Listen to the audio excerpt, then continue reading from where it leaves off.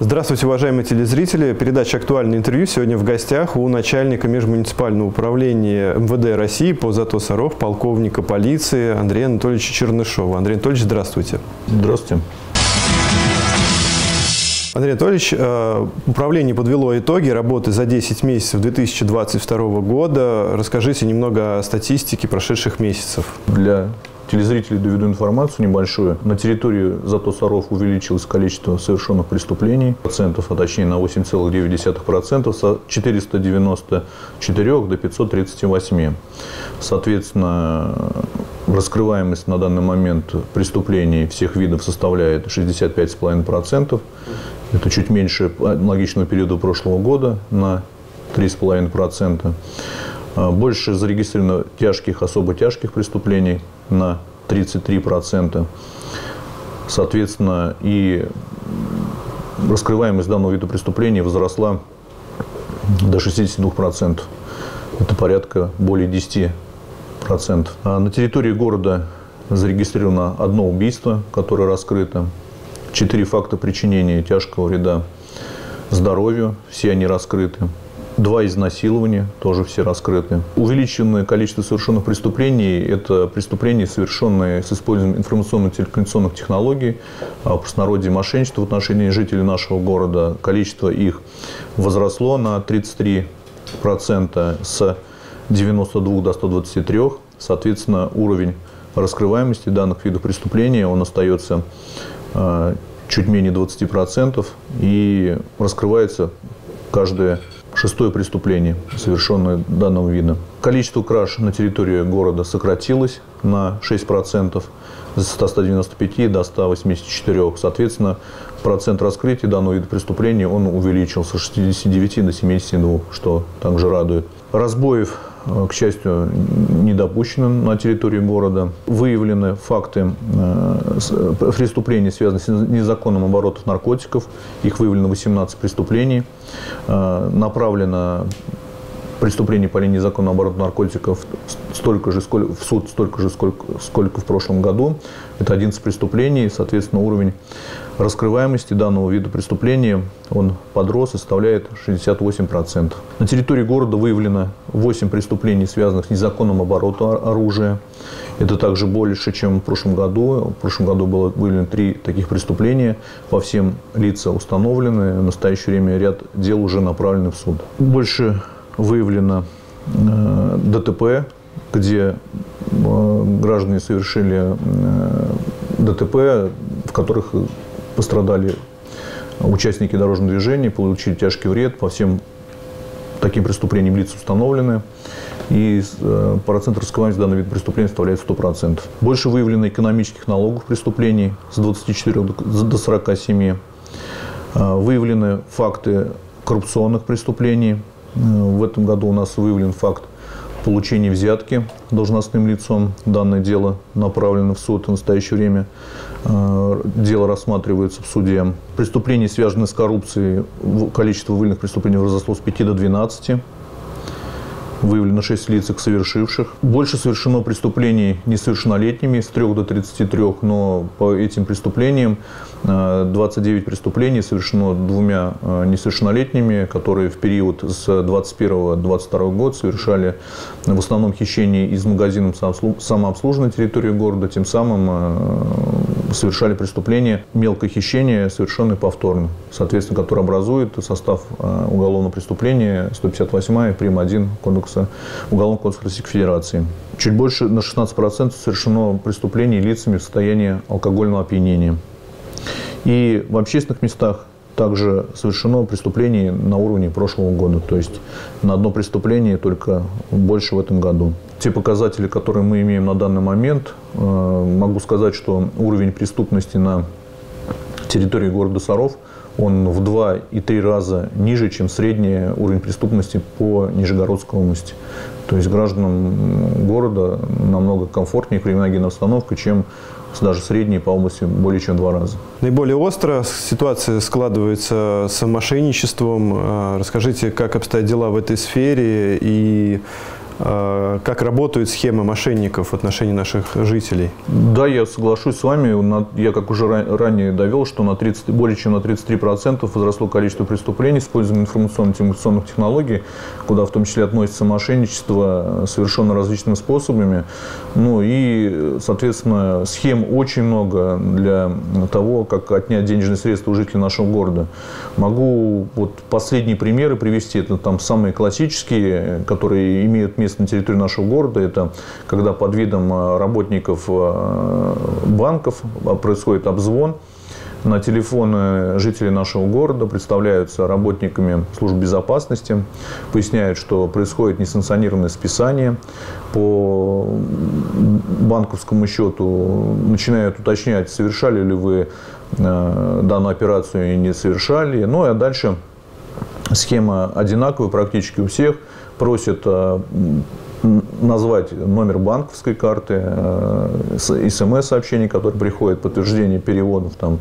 Ну и э, Кроме этого, э, получив денежные ну, получив э, реквизиты банк, банковской карты, похищают э, средства со, со счетов граждан, а также сейчас в последнее время очень активно используется следующая система, что представляется сотрудниками службы безопасности, потом переводит разговор, передают трубку сотруднику правоохранительных органов, представляется сотрудниками различных силовых структур, МВД, ФСБ, Следственного комитета, Центробанка, euh, и, и так далее, и так далее, любые там э, э, правоохранительные органы, соответственно, просят принять участие в специальной операции по поимке мошенников в банковской сфере.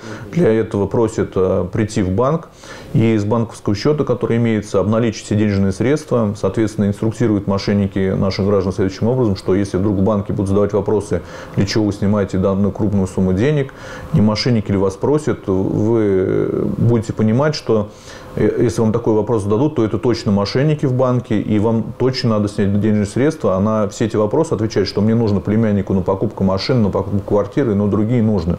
Соответственно, граждане э, снимают денежные средства своего счета и в ближайшем банкомате переводят на так называемый безопасный резервный счет – Э, который называют мошенники, для того, чтобы они вернули свои денежные средства якобы на свой счет обратно.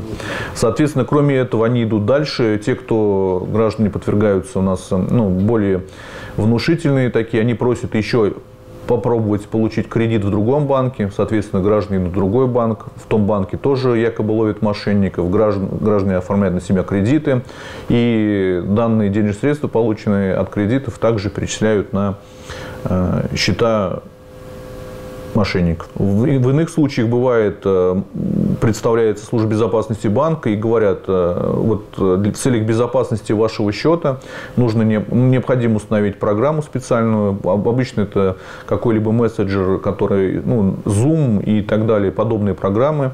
Говорят, что мы не мошенники, мы сотрудники банка, мы от вас не будем спрашивать никаких ваших счетов, ни смс, который будет приходить. Вот вы нам только подтвердите, смс вам приходит, или не приходит. Вот сейчас мы направим на ваш номер телефона смс-сообщение. Вы нам скажете, пришло или не пришло, мы тогда вас а, идентифицируем и проверим работоспособность службы нашей безопасности, все у вас будет хорошо. В итоге а, граждане устанавливают программное обеспечение, потом мошенники под видом а, его проверки просят включить демонстрацию экрана. Соответственно, мошенники на своем устройстве видят все те действия, которые происходят на экране у потерпевшего, и гражданину присылают им смс-сообщение с с целью перевода денежных средств на другие счета. А гражданин ничего не подозревает, демонстрирует им свой экран телефона, и они э, переносят информацию на свои устройства, соответственно, с банковского счета гражданина списываются денежные средства. Это вот один из последних распространенных э, видов мошенничества. Что бы хотелось э, сказать телезрителям по данному виду, если вам позвонили, представились работниками банка, там, службы безопасности, поддержки, кем угодно, убедительные просьбы не вступать в разговор, просто положить трубку. Это будет самое э, нормальное решение в, в этой ситуации. Если, э, соответственно, гражданин вступает в разговор с этими э, мошенниками, они найдут тысячи причин для того, чтобы продолжить разговор и выведать у гражданина информацию о его банковском счете, о убедить его в том, что необходимо снять денежные средства и отправить его на резервные счета. Никаких резервных счетов, безопасных, супербезопасных там не существует. Это все счета мошенников, и гражданин переводит эти денежные средства на счета мошенников.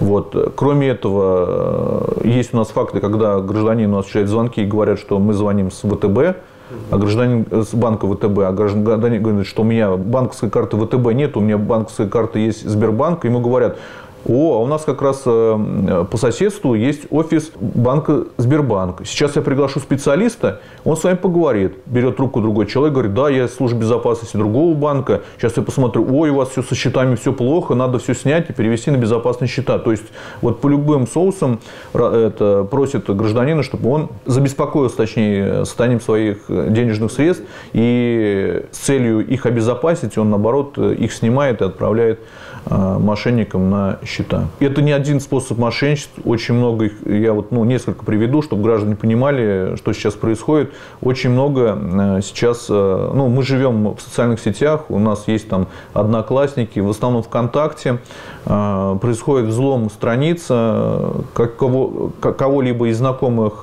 которые находятся в записной книжке у гражданина, и от его имени поступают сообщения такого содержания. «Привет, Э, помоги, там нужно 5-10 там, тысяч рублей, небольшая сумма. Гражданин, э, не перезванивая, ну, зачем это себя утруждать, да, мы пишем, это, живое, общение мы, наверное, уже давно забыли.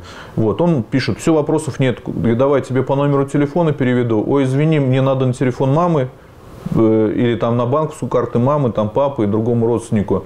Потому что у меня телефона с собой как бы нет, я с другого устройства выхожу, ну и присылает банковскую карту, гражданин ничего не подозревая на эту, денеж... ну, на эту банковскую карту переводит денежные средства, разную сумму денег, там, ну, обычно небольшая, там, тысяча, две, пять, десять тысяч рублей, такой максимум, чтобы э, гражданин не заподозрил, что ну, зачем там 100 тысяч просить там, у друга своего. Соответственно, переводит, потом через определенное время начинает общаться вживую с э, своим знакомым, другом, родственником и узнает, что его страницу взломали, и от его имени там много кому написали сообщение такого содержания. Ну, кто-то э, повелся, отправил денежные средства, кто-то игнорировал его сообщение, то есть кто-то перезвонил, возможно, уточнил, что там у него случилось, и какая-то там, может быть, другая еще помощь ему нужна. Соответственно, вот таким вот образом. Э, очень много, и вот в преддверии новогодних праздников хотелось бы предупредить граждан о том, что вот у нас сейчас э, начинают приобретать вещи и имущество любое в социальных сетях. Вот два факта у нас есть прям буквально за две недели. Один э, мужчина в группе ВКонтакте э, «Колеса из Европы» заказал э, колеса Якохама по цене там, почти 50 тысяч рублей на свой автомобиль. Соответственно, перевел стопроцентную предоплату. Ему выслали якобы трек-номер транспортной компании, по которой можно следить движение его имущества. Соответственно, этот трек-номер ни в какой транспортной компании не бился, то есть такого не существует. Потом его удалили там из этой группы, и, соответственно, гражданин лишился 50 тысяч рублей ни колес, ни денежных средств. Это вот как бы один вариант. Вчера буквально обратилась женщина ВКонтакте в одной из групп у какой-то гражданки, заказала платье, э, стопроцентная предоплата, произвела оплату, через определенное время ей звонит э, продавец, говорит, что понимаете, у нас был технический перерыв, и оплата не прошла, надо повторить. Повторяет, с нее второй раз списывается, там почти две с половиной тысячи рублей. А после этого говорит, все, как бы, она ну, начинает возмущаться, почему мне два раза списали денежные средства. Он говорит, ой, извините, сейчас мы вам форму пришлем, вы там заполните свои реквизиты, денежные средства мы вам вернем на ваш э, счет. Соответственно, ей приходит фишинговая ссылка, она заполняет все свои реквизиты банковской карты, куда перевести необходимо. Соответственно, еще из банковской карты у нее 15 тысяч рублей списывают. Так что, ну, граждан еще раз убедительно прошу, если покупаете покупки в интернете, это проверенные магазины, соответственно, магазины, где имеются пункты выдачи в городе Саров, они присылают вам транспортные компании непонятно откуда, потому что были факты, когда видеокарты дорогостоящие присылали, э, начинают начинает гражданин устанавливать в компьютер, а она не работает. Начинает разбирать, она внутри пустая, там видео памяти отсутствует и так далее. То есть, э, которые, грубо говоря, в пункте выдачи не проверишь э, вот эти все вопросы. Э, соответственно, у нас жители очень пользуются мессенджерами. Вот буквально тоже несколько дней назад женщина в Телеграме в группе состояла, читала всякие новости и увидела новость, что от банка, одного из банков, опрос, пройдите опрос, получите денежные средства. Соответственно, интересовалась, зашла, провела опрос, после этого с ней связались, он там указал номер телефона, связали, сказали, все, э, молодцы, все замечательно, куда вам 3000 перевести? Она, ну, определенную форму ей выслали, она ввела, ввела все реквизиты своей банковской карты, в результате с ее банковской карты похитили 30 тысяч рублей. Ну, вот сами граждане ищут, э, где бы, ну, заработать, а в итоге, как говорится, бесплатный сыр только в мышеловке, вот примерно так, такая же ситуация. Мошенники ищут вот именно на то, чтобы граждане получили какую-либо выгоду, соответственно, э, вместо этого они э, получают, ну, лишаются денежных средств. Один гражданин, э, то же самое, в Авито решил приобрести автомобиль. Ну, соответственно, списались с продавцом, все, автомобиль грузовой его устроил, там цена не очень большая была, потому что автомобиль БУ, там очень много лет ему. Соответственно, продавец говорит, я все выезжаю, Саров, ждите меня, готов приехать, э, отдать вам автомобиль, там оформить э, договор купли-продажи. Потом осуществляет звонок, говорит, нет проблемы, с деньгами очень проблематично. Ты мне не мог 10 тысяч э, выслать на бензин. Мне вот до Сарова 10 тысяч как раз не хватает на бензин. Все равно же это. Я там тебе скидочку сделаю вот за эти, ну, за минусом э, бензина.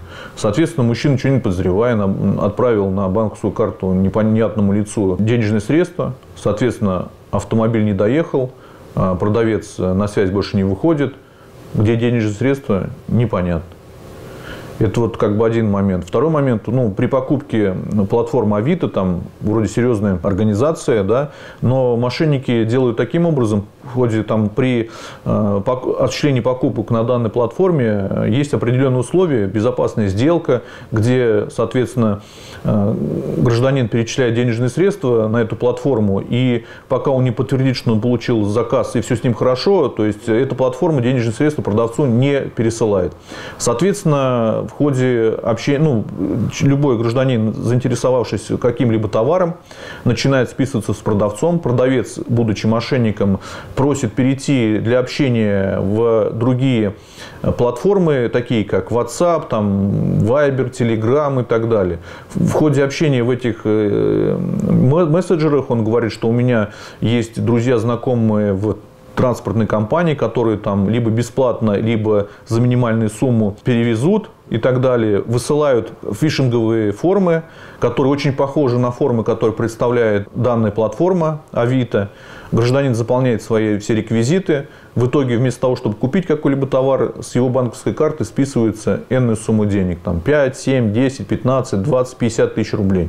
То есть вот в этом плане. В ходе э, работы по уголовным делам, расследованию уголовных дел, связанных с мошенничеством, устанавливаем, что в 99% случаев Звонки осуществляются с территории Республики Украина. Денежные средства тоже отправляются на территорию Республики Украина. Соответственно, задержать э, мошенников является большой проблемой. Соответственно, никто их, э, всем прекрасно понимаем, обстановку в стране выдавать не будет.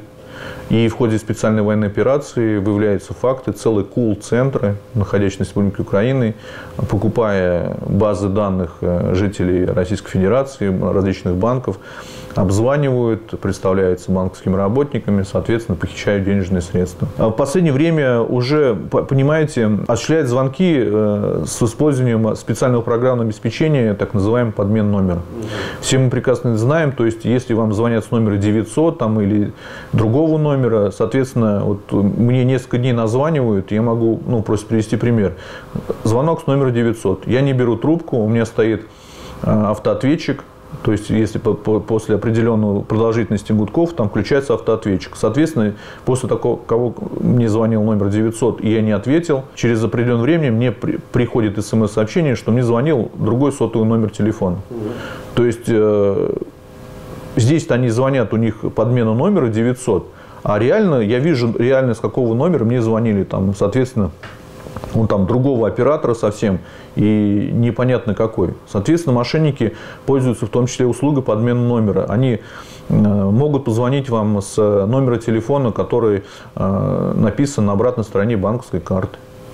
Они прям вот, ну, при общении с гражданином говорят, вы не верите, что мы сотрудники банка, мы сейчас вам позвоним, вот банковская карта при себе, вы переверните вот номер телефона, который там у вас указан, сейчас мы позвоним. И действительно осуществляется звонок э, с номера телефона, который прям идентичный, который написан на обратной стороне банковской карты. Соответственно, гражданин уже, конечно, я вам верю, что вы мне с, э, осуществляете звонок именно с э, этого банка, который, эмитентом которого я являюсь, соответственно, верит и выполняет все те поручения, так указания, которые, как они считают, им говорят банковские работники, там, службы безопасности и так далее.